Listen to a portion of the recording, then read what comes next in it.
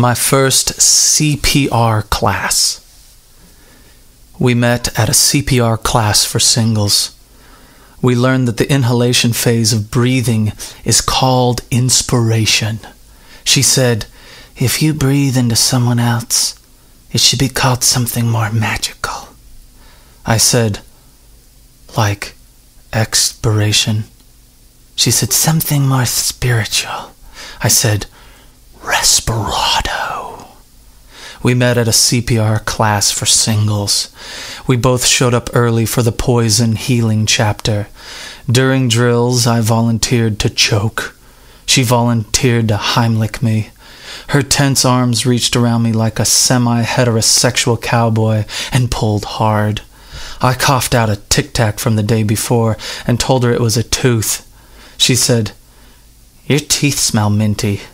I said, That's the nicest thing a non dentist has ever said to me. We met at a CPR class for singles. She was all dressed up in blue emergency, styled in the symptoms of shock.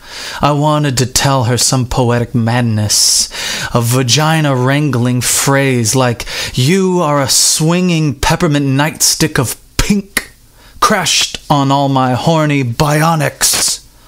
But all that came out was, Hey, isn't it funny how old people really love pie?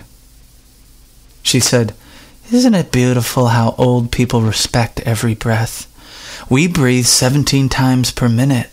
I said, Well, less, less if sleeping. She said, And less if kissing. I said, And, uh, snorkeling.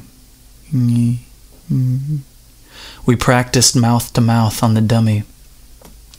She said she was used to making out with the brainless. She dropped her gum in its mouth as a joke for me to find. I had a hard time retrieving it with my tongue. I got it after five minutes. The instructor suspended me from further oral interactions with all plastic devices within the room. When it came time for a live volunteer to mimic an unconscious stroke victim, I beat her to it. I laid down. She stepped up and I closed my eyes. I liked her mouth docking upon mine in its Armenian grip. I felt upon my lips her, I might look like a cop in 24 years, mustache, and knew we had something in common, and that something was justice. I moved her down to my mouth. We kissed like Europeans who just discovered that it's okay to put ice in a Coke. The gum fell into my throat, and I actually choked.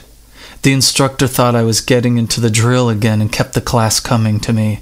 A dude with a beard made of tuna fish breathed into me like a diesel leaf blower. A 19 year old girl with a goiter and no upper lip breathed sneezed into me, wetter than a whale porno. Then, a short, spandexed man who looked like Boris Yeltsin's dead baby, slobbered into my tonsils until he pressed his gold ringed hands onto my chest, and the big league chew rocketed out like a geyser. We met at a CPR class for singles. I learned that a mouth finding another mouth in its desperate gaping could land and surrender to shared air, and the thing that passes between mouths as the lips connect could save your life. That and massive pumping on the breasts.